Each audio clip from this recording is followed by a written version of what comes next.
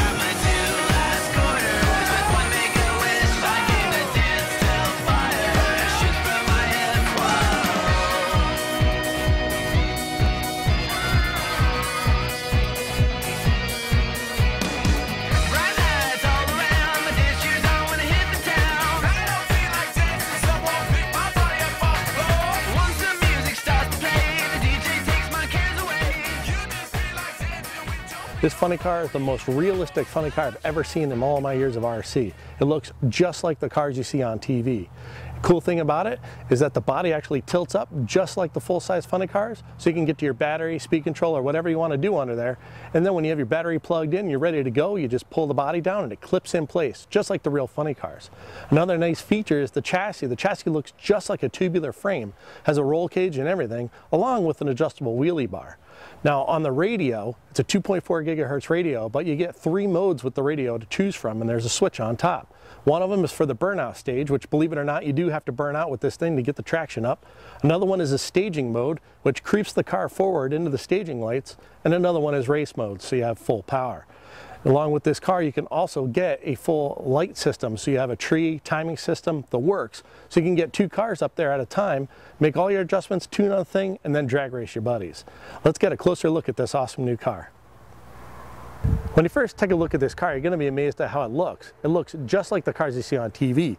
And the body is molded in two separate sections. You have the main Lexan section, which is the most of the body, and then the wing is molded separately in, with injection molded plastic and it bolts onto the body.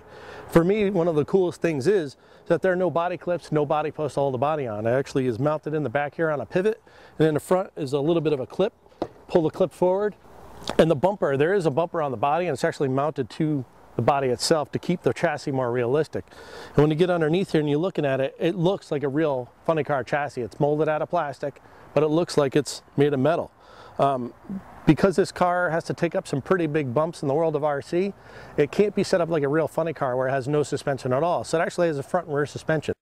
Coilover shocks, they're inboard mounted um, just to give it a little bit of give. And in the back, it has basically like a three link setup uh, where a transmission is mounted on the, on the off the chassis on the four-link suspension, and the motor is all the way in the back for weight distribution. Some of you guys who saw our review of the Traxxas XO-1 might notice this radio and how it looks very similar. Um, this one has a couple extra features on it though for the drag car. Um, one of the interesting things to me is the switch on top here.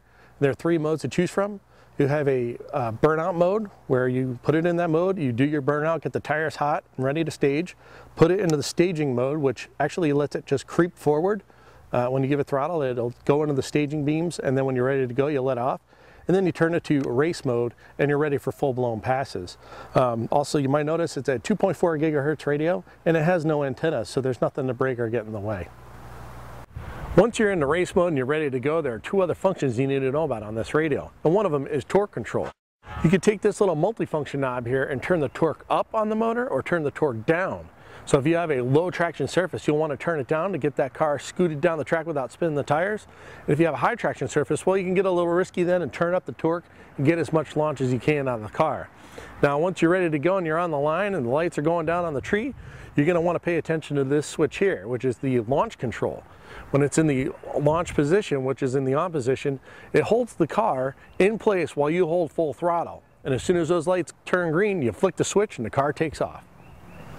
Now a really cool option that you're going to be able to get from Traxxas for their funny cars is their DTS1 system. And basically it's a full timing and light system like you see in the real funny car world. It'll tell you who won the race and who red lit if you happen to go a little bit early. Now one of the cool things about this system is that you can hook it up to your iPhone or iPod Touch when you use the docking station that's offered by Traxxas for your radio. And it'll tell you elapsed time and other important things that you want to know about your run. The tires on the front of the car are just like what you'd see on a full-size drag car. They're very small and have a little bit of tread. You don't need to make a lot of turns with this car. You're basically just going in a straight line. So that's all you need for the front. And in the rear, to make things interesting, they wanted to make it look as realistic as possible. So these tires, believe it or not, are X01 tires, but they're glued to a rim that has a large plastic sidewall. So it looks like the full-size tires that you'd see on a funny car dragster. It even has a small diameter rim. In the back of the car, you're gonna find an adjustable wheelie bar. Once again, just like the full-size cars, they wanted to make this car as realistic as possible, and I really think they pulled it off. The wheelie bar can be as low or as high as you want, depending on what you're doing, drag racing wise, and what kind of traction you have. You'll also get this E2400 brushless motor that Castle Creations and Traxxas work together to create. For more information on the Traxxas Funny Car, check out our exclusive article in the June issue of Radio Control Car Action Magazine.